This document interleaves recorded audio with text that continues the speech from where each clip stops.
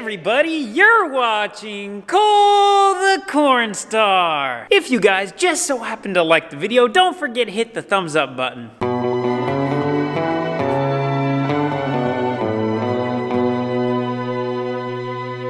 It's a hurricane out here today. Windy, windy, windy. We need to take the Geo. And we're back to the main heated shop. Geo's parked over here because it needs a bath. Badly. Lately, a lot of you guys have been asking me about this car. This is not our car. This is one of Cooper's friends, so that's his doing. I'm honestly not certain of the year, but it's a Honda F-150 Ranger, the Cole the Cornstar edition. I like it. Okay, I need to fill my Geo with gas. Power wash it. Then we'll pull it in here because I got some servicing I need to do. Like I said, it's windy. I didn't film it, but I did wash it. And yes, I still need to get new hubcaps ordered. I wanted to uh, give Mama Cornstar a really, really big thank you. She came down here and she's been helping me this morning work on the planter. She's been holding some bolts and nuts in. Thank you, thank you very much for that, Mama Cornstar. I know you got a lot of things you're trying to do. So it means a lot to me. Thank you everybody too for coming along and watching the journey. Ah. Man almighty. Shop's kind of cluttery today.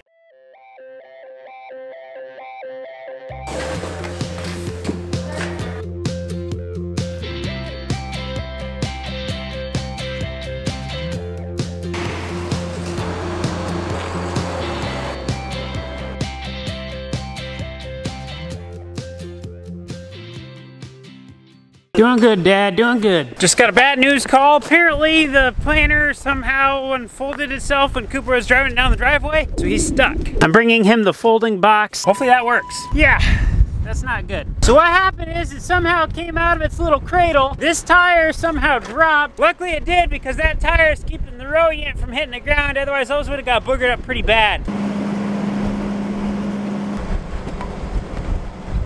Gonna go grab the skid loader. Every time we get a new piece of equipment out for the first time, some little quirk always goes down. Better to figure this stuff out sooner than later though. Well, well, well. Let's see what the boys got going on here. Usually it's me comes to the rescue. That little girl takes up some room. Man, that case looks nice. We made it safely. Good job, Coop. Natalie and Neva will have to pay attention to this when they're out planting this year. Not happening. Well, we got the 340 outside. I want to take the air hose and blow out all the trash around this exhaust pipe. How we doing, Cole? Got my fresh cut. Looking a little moppy up top. I decided not to do the lines. I didn't want people to be that impressed by me. Plant your garden early. This looks so much better. We have to make sure we keep this area clean because corn stalks and stuff get piled up in here. Corn stalks can catch on fire really easily. And that bad boy gets hot. Combine the two and we could have a fire on our hands. That is not what we want. It's good, Cole. It's time to start tearing into some closing wheels. We gotta take 24 of these assemblies off and we gotta put 24 new ones on. When you say we, are you talking about all of us or just me? I kind of like it when it's we as all of us. I suppose that means I gotta help. Putting Cole under pressure to see what it feels like when the camera is looking at him. What do you think, Coop? Gonna get all these puppies off? Take a while. Natalie, you ready to get your hands dirty? I'm looking at this buddy seat in the 340. This seat back is literally only seven inches tall. Like, I've pretty small hands, and it's about the height of my hand. So parts of me are like, do they make a bigger back to a buddy seat that I could put on here? Or do we need to possibly take it off and bring it to an upholsterer so they can reupholster it into a bigger buddy seat? Because that thing is not comfortable. I haven't sat in the buddy seat, so I didn't know what it felt like. The buddy seat is one of three things I don't like about this tractor. The other two being trash getting behind this exhaust pipe, and the fact that all those hydraulic lines are trapped under the cab. Somehow we gotta figure these out without pinching our fingers with these springs. These springs here have a lot of pressure. The average guy couldn't move them, so I just don't want anybody to get their fingers pinched. Whoa, whoa, whoa, careful there now. Hey. I'm bringing a chair over. Ugh. Everything on this planter is metric, so it kind of fools me a little bit. We don't mind stuff being metric. It would just be nice if everything was one thing, because some stuff's standard, some stuff's metric. It gets really frustrating when they have both types on the same piece of equipment.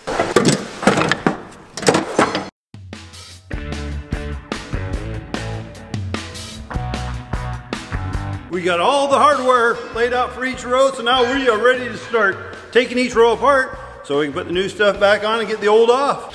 you figured out how to get this apart yet? I think so.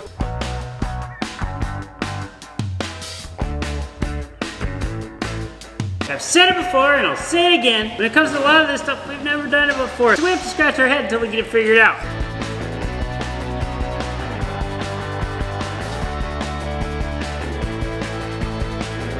One done, 23 to go.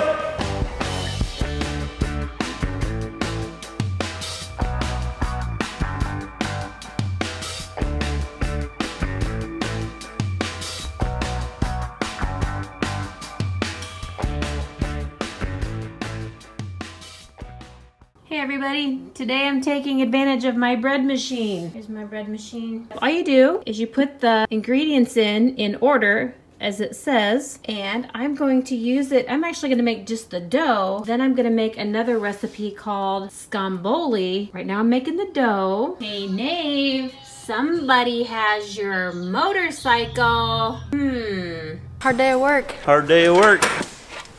What? We're gaining slowly. We got a good team working today though. We got Cooper, Natalie, you, and me right now working on this stuff and it's working really well. It took Dad and I 28 minutes to do the first row, and an hour after that, we did half the planter. So it just shows, once you learn how to do one, it really accelerates the process for the others. So this is what the finished product looks like. The closing wheels will bolt in right here. We don't have the closing wheels, so that's why they're not on there yet. We just have half the planter to go.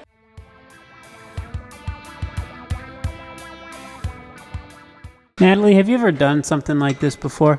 No, it's probably the dirtiest my hands has been in since I was little. Your face too. Is it really? Great. This is pretty much where anybody could do it, don't you think? It's not hard. You just gotta know how to do it. So what I'm doing is I'm going ahead of Daddy Cornstar and I'm putting these on, but they're still loose. And then Dad's coming in, he's tightening them up, and then he's putting the handle in with the spring. Looking pretty good. And I'm getting hungry. Do you know what my favorite time of the day is? 6.30. Hands down. Get it?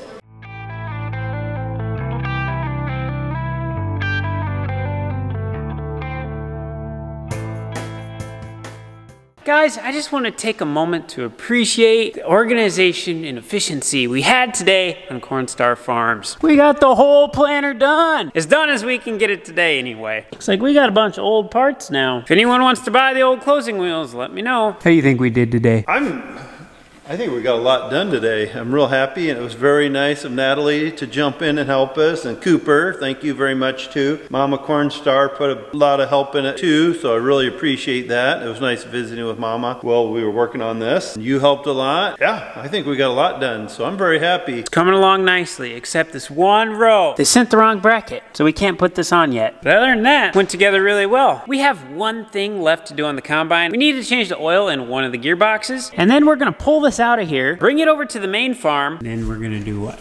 Well, hopefully bring our other little John Deere tractor over with the other planter and try to squeeze it in here too because we got to do some work on that one too for the closing wheels. But I'm just looking to see how we're going to get everything in here. But I think we can do it. The old Geo needs waxed. A cab cleaning probably wouldn't hurt either. I was also doing a quick belt inspection and the power steering belt is pretty much toast. So I need to get a new one ordered so I can replace it. Happy birthday! Ooh. That's right guys, it's Anna's 13th birthday. It's supper time. Pizza burgers, Mama Cornstar style. Normally I'd use regular wax, but I found this speed wax stuff, so I'm gonna give it a try. She's not looking bad, but I like to wax my car at least once a year, that way I'm protecting the paint. That way the Geo's got a lot of life left in it. That's right. So I don't know if you guys can notice or not, but if you wanna know if it's time to wax your car or not, just look at the paint. Right now I can see a bunch of little swirls on it. I don't know if the camera's picking it up, but when you can see those swirls, it means it's due for a good waxing. According to the directions that I never read, it says to spray it on, then wipe it off with the rag.